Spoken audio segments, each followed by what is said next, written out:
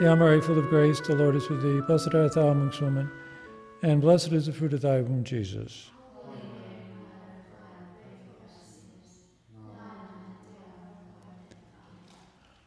Our Lady of the Rosary. name of the Father, and of the Son, and of the Holy Spirit.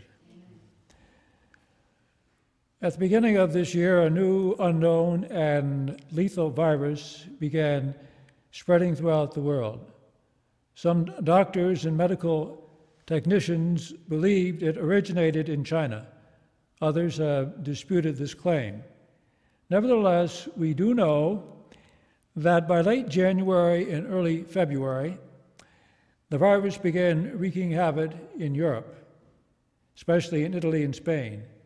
Then it reached our shores at the beginning of March. How it got here, we do not know for sure at this time, but we do know, though, that it has been and is systematically infecting and killing thousands of Americans. And if it is not stopped or mitigated, it has the potential to kill about 200,000 persons, which is about the same number of people who died when the first atomic bomb was dropped on Hiroshima, Japan. For this reason, President Trump stated at a national press conference he held on Monday of this week that our country is in the midst of a great national trial, unlike we have ever faced before. We are at war with a deadly virus, he stressed. Therefore, success in this fight will require the full measure of our collected strength, love, and devotion. However, as he went on to say, encouragingly, each of us has the power through our own choices and actions to save lives and rescue the most vulnerable among us. So, in light of these statements, we are led to ask ourselves what can we do to end the scourge caused by this pandemic? the answer is as simple as it will be effective, namely, to pray the rosary as often and as devoutly as we can. it might sound simplistic to say this, and indeed it is, but there is scientific documented evidence that can prove conclusively that the rosary has the power to protect us from the most deadly of physical, biological, spiritual, and moral evils, even that of an atomic bomb blast. The lethal effects of radiation and effects an infection from a deadly virus. Some of you may know already about how the rosary protected the Jesuits at Hiroshima from near certain death by an atomic bomb blast. But it is more than worthwhile to repeat the details of their miraculous survival in the context of the coronavirus pandemic. Because by doing so, we can be reminded of our pressing need to seek the protection and intercession of the Blessed Virgin Mary at all times by means of the Most Holy Rosary. So let us review now what happened at Hiroshima, Japan, almost 75 years ago, the place where the first atomic bomb in history was exploded. It was dropped on this city on August the 6th of 1945 at 8:15 in the morning. When the bomb hit, Houses and buildings for miles around were leveled. Father Hubert Schiffer, one of the Jesuits who was in the rectory on that dreadful day, described the scene by writing that in one frightful second, a proud city of a half a million souls was wiped out from the face of the earth. Nothing remained but an atomic desert and the word Hiroshima from that time onwards became a symbol of total destruction.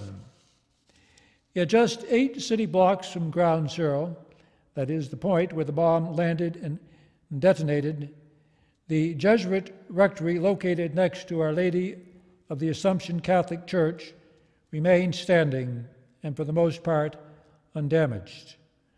What's more, the four Jesuit priests who were inside the rectory at the time the bomb exploded not only remained alive, but also escaped serious injury from either the bomb blast itself or the effects of the deadly radiation. How can we explain then the miraculous survival of these Jesuit priests? The answer can be given in one word the Rosary. It is the only logical explanation possible, since each one of those priests, as they later publicly testified, had been praying the Rosary daily before the bomb was dropped. In fact, they issued a public statement to this effect at the International Eucharistic Congress that was held in Philadelphia in 1976, which read We believe we survived because we prayed the Rosary daily in that rectory. So we can be sure that the Blessed Mother, as reward for the faith and fidelity of those dedicated Jesuits for praying the Rosary, shielded each one of them with her protective mantle, not only from the deadly effects of the violent bomb blast, but above all from the poisonous radiation as well. In fact, more than 30 years after the bomb had been dropped, all of the priests who had been in the rectory on that faithful day were alive and well. and not one of them, to the amazement of the many scientists, medical specialists, and doctors who had interviewed and examined them more than 200 times, could determine how those priests could have escaped serious injury from the hellish power of the bomb blast, as well as the residual effects of the radiation. For from a purely scientific point of view, what happened to those Jesuits at Hiroshima still defies human logic, not to mention the laws of physics and biology. In short, only a miracle can explain their survival. They should have all died when the bomb was dropped, or shortly afterwards from the radiation. The great lesson that we can learn from the Jesuits at Hiroshima, then, is that if Mary protected them from being killed by an atomic bomb because they prayed the rosary every day, then she can and will protect us, our families, and our homes from being contaminated or infected by the coronavirus if we also, like they did, pray the rosary every day. But this leads us to ask ourselves, though, why is it that the rosary is such a powerful prayer? How could it be responsible for preserving the lives of just four priests 75 years ago from the most violent, the most destructive, and the most lethal weapon that has ever been unleashed upon mankind since the creation of the world. How can the rosary now, today, preserve our lives from contamination by a deadly virus that seems to be spreading throughout the world like wildfire and taking tens of thousands of lives with it in the process? Well, you could say there are three reasons which can explain why the Rosary is such a powerful prayer. Three reasons that can explain why the Rosary not only protected the Jesuits from the bombast, but also why it can protect us today from the virus. First of all, and above all, the Rosary is so powerful because it is Mary's favorite prayer. In fact, Pope St. Pius X once said, Of all the prayers, the Rosary is not only the richest in graces, but it is the one most pleasing to Mary. It can be no accident, then, that Mary told us at Fatima through the three shepherd children, not just once, but six successive times at each one of her apparitions, to pray the rosary every day in the world, for peace in the world and an end to war. So, we can be absolutely certain that there will be no peace either in the world at large or in our hearts unless and until more people pray the rosary more often with greater faith and devotion. The second reason the rosary is so powerful follows directly from the first, namely, the fact that Mary is the mediatrix of all graces. In fact, as St. Bernardine once put it, from the moment Mary conceived Christ, she began to possess, so to speak, a certain authority over the actions of the Holy Spirit in the world, and this in such a way that no one receives any grace from God except through her mediation. Therefore, all the gifts and graces of the Holy Spirit are distributed by her to whom she pleases, when she pleases, and in the quantity and measure she pleases. In other words, the St. Louis de Montfort says, No heavenly gift is given to us that does not pass through Mary's hands. In short, as Pope Leo XIII once said, According to the will of God, nothing is granted to us except through Mary. Or as St. Bernard puts it more strongly still, it is the will of God that we should receive all our graces through Mary. Or as he goes on to explain, God has filled Mary with all the graces we will ever need, so that through her we may receive by her means, like through a channel, every good thing that comes to us. So, for all these reasons, we should ask Mary not only for the graces we will need to protect ourselves from contamination from the coronavirus, but above all, for the graces that our nations and the world will need to end this pandemic scourge as soon as possible. In fact, Mary has the power to stop this plague dead in its tracks. If we pray to her for this grace by means of the rosary, she can do it. she can stop it just as easily and as swiftly as she can crush the head of Satan. Where St. Bernard puts it so powerfully and beautifully without Mary, we cannot succeed. With her, we cannot fail. Finally, the Rosary is such a powerful prayer because it can, at one and the same time, draw the angels to us while driving away the devils.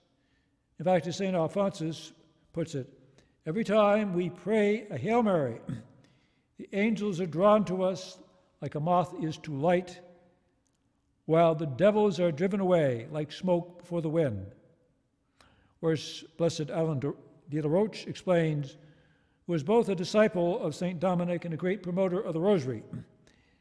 Just as heaven rejoices when the Hail Mary is prayed, so too the devils tremble and run away when they hear it. And why is this? it is because Mary is the Queen of the angels. Therefore, they exist to honor her, to love her, and serve her. So they cannot be but pleased and attracted to us whenever they hear us honoring her by praying her favorite prayer. While on the other hand, there is no one in heaven or on earth that the devils fear more than Mary. In fact, St. Bridget tells us in her book of Revelations that God made Mary so powerful over the devils that she can terrify them with a single glance. So, for all these reasons, whenever we pray the rosary together in a group, it seems to the devil, St. Louis de Montfort has noted, as if a whole army is attacking him. And so, if the rosary is such a powerful means of not only attracting the help of the holy angels, but also driving away the devils, we can understand why Pope Pius IX once said, If I had an army to, to pray the rosary, I could conquer the world. So we can be confident that we too can conquer the coronavirus if we pray the rosary. So, all this leads us to ask ourselves if I'm praying the rosary regularly, what more could I do that would help me to pray it more effectively during this time of trial? Well, there are five things we can do. First, we should try to pray it more attentively. So, we should resolve to do this, to make a serious effort to keep our minds focused firmly on the mystery that we are meditating upon. For as we know from experience, it's all too easy to give into distractions and lapse into daydreaming if we're not careful while praying. So, before we begin to pray, we should place ourselves in the presence of God by making a good act of contrition. And further, it's important to know if we become careless and let our minds wander, by merely looking at our rosary beads from time to time, we can refocus our attention and become recollected again.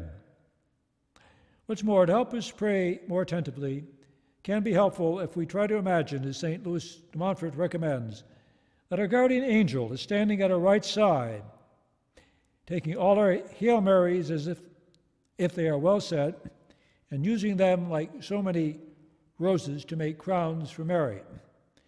While at our left side, there standing a devil who is ready to pounce upon every Hail Mary poorly prayed so he can accuse us of praying with distractions. So we must make a special effort during this time of crisis then to pray more attentively. What really counts with the Lord is not so much the length of our prayers, but rather the love and the zeal with which they are prayed. So, for this reason, St. Louis de Montfort once said that one single Hail Mary prayed well is worth more in the eyes of God than 150 that are prayed poorly. Now, yes, this statement made by a saint, a great saint and a promoter of the Rosary, is indeed true, but at the same time, it can be said that a rosary prayed poorly is better than one not prayed at all. So we have to be careful then and not let the perfect become the enemy of the good. For sometimes, if we do not have the time to pray our rosary at a slow, meditative pace, which is the ideal, of course, we can be tempted not to pray it at all. So we have to resist the temptation to excuse ourselves from praying our rosary because we don't believe we have the time to pray it as well as we could or should. The second thing we can do that will help us to pray our rosary more effectively is to pray it more meditatively. For if we do not pray it with meditation, then our rosary may be in danger of becoming a mere body without a soul, as Pope Paul VI once warned us. And then, if we are not careful, our rosary can all too easily degenerate into a mere mechanical repetition of phrases, as he put it. But for some of us, the seemingly endless repetition of Hail Marys can seem pointless. Why do we have to say so many of them? After all, didn't Jesus say, as the, as the critics of the rosaries point out that we are not to babble our prayers like the pagans do, who think they will be heard because of their many words. So, how can we answer then this all too common objection, especially if we ourselves might have been losing our faith in the power of the Rosary during these dark days of the crisis?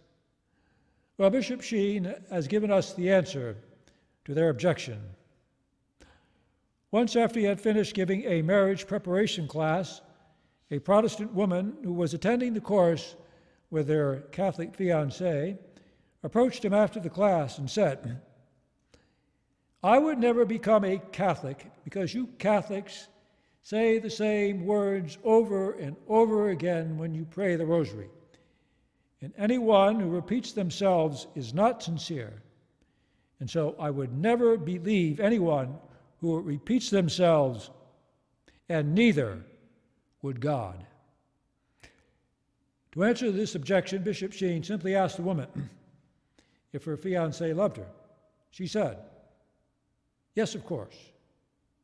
How do you know this? The bishop asked. Because he told me, she said.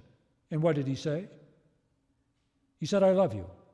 And when did he tell you this last? About an hour ago? Did he tell you this before? well, yes, last night. And what did he say? He said, I love you. But never before. He tells me this every night. Then do not believe him, Bishop Sheen said. He is repeating himself. He is not sincere. so, this little rosary shows us that the repetition of the Hail Mary while praying the rosary is not mere babbling, but rather it is a deep expression of our love for Mary. And so, if our rosary is prayed in this way, it is capable of leading us to the heights of contemplation. For the often repeated words of the Hail Mary can act like a kind of background music that can help us to meditate more deeply on the major mysteries connected with the life of Christ. And so, just as Gregorian chant and some kinds of classical music can calm our soul, making it possible for us to think more clearly and to pray more deeply, so too the praying of the Rosary can have the same kind of effect both on our body and our soul.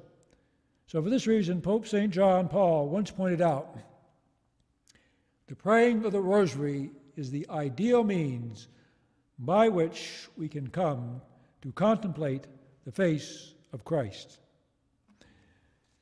The third thing that we can do that will help us to improve the power of our rosary is to pray it ecclesiastically. That is, to pray it in union with certain approved groups or organizations within the church. For example, the World Apostolate of Fatima, the Legion of Mary, and the Confraternity of the Holy Rosary. What's more, there are now some institutions on the internet that have begun to pray explicitly for an end to the coronavirus pandemic. For example, the organization known as Catholic Action for Faith in Family as over 150,000 persons who have pledged to pray the Rosary regularly with Cardinal Burke. The fourth thing that we can do that will help us to improve the power and effectiveness of our rosary is to pray it angelically. That is, we should unite our rosary with the prayers not only of our own guardian angel, but with the guardian angel of everyone in the whole world, as well as the prayers of all the angels in all the different choirs. It is with all the heavenly hosts, with all the billions and billions, if not trillions of angels who constantly worship and praise the Lord in the hallways of heaven. For if we take the time and trouble it takes for us to invite the angels to pray with us, we can be confident that the power of our rosaries will be increased immensely. Finally, to magnify the influence of our rosary, we should pray it at night. For there's a special kind of intensity connected to prayer when it is made during the night hours, especially when it is made before the Blessed Sacrament. A special kind of intensity that is sometimes lacking during daylight hours. And the Church has, in fact, recognized the reality of the power of night prayer by scheduling prayer vigils every year on Holy Thursday, Holy Saturday, and Christmas Eve. And so when we make the extra sacrifice of praying the rosary late at night or early in the morning, we are imitating the example of the Lord, who was known to pray all night And for this reason, we can be confident that He will be more open and disposed to hearing and answering our prayers when we make the extra effort, the extra sacrifice of praying at night. So, for all these reasons, we could conclude that one of the most important things that we can do for our nation and the world at large at this particular point in time is simply to pray the rosary more attentively, more meditatively, more ecclesiastically, more angelically, and more nocturnally. Remember, just as Mary shielded the Jesuits at Hiroshima from the hellish effects of the atomic bomb blast and the deadly radiation, so too she can protect ourselves, our families, and our homes from the lethal effects of the coronavirus.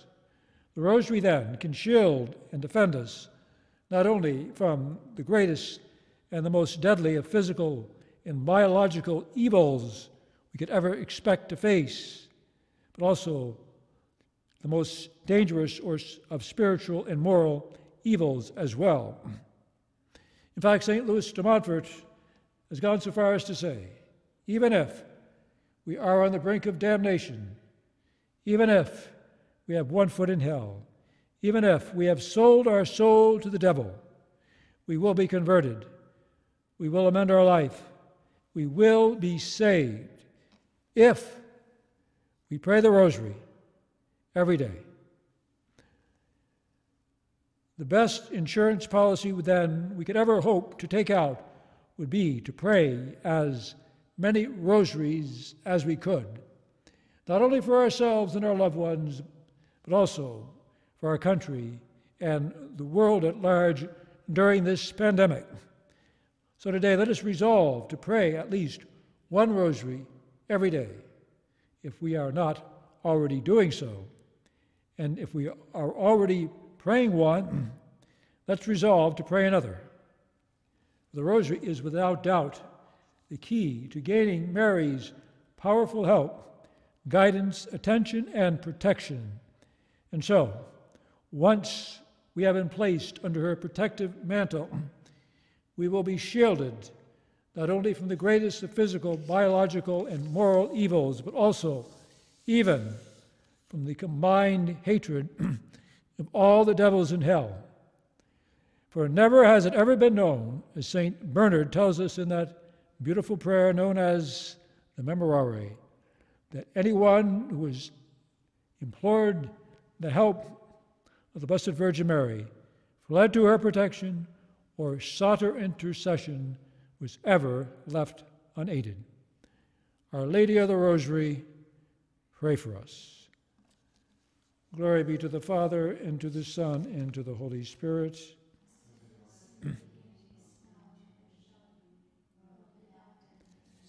May Almighty God bless you, the Father, and the Son, and the Holy Spirit.